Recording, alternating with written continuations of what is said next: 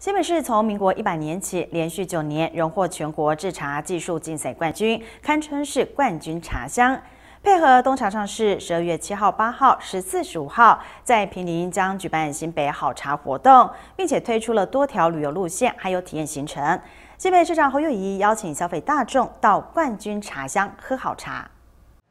新北市长侯友谊现场品尝熊七内冬茶，赞不绝口。配合文山包种冬茶火热上市，新北市长侯友谊亲自担任代言人，邀请民众十二月七号、八号起到平林茶博馆旁广场喝好茶。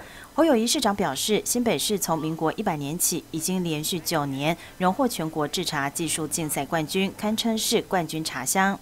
新北是冠军的茶乡，不但在平林，在三峡，甚至石门、石碇。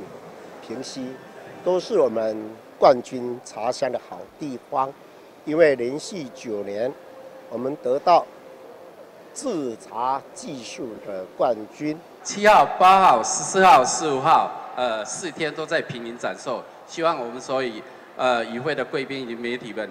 呃，来到我们平林品尝。十二月七号、八号、十四、十五号，在平林区也推出了茶乡一日游畅游五大小旅行路线、茶室体验营、大型流水面线体验、复古人力车游平林，并与在地地方创生团队合作规划老街装饰艺术以及一系列精彩活动，有喝有玩又有的拿。我们有五大旅游的包装，尤其结合护人骨互力车，就是。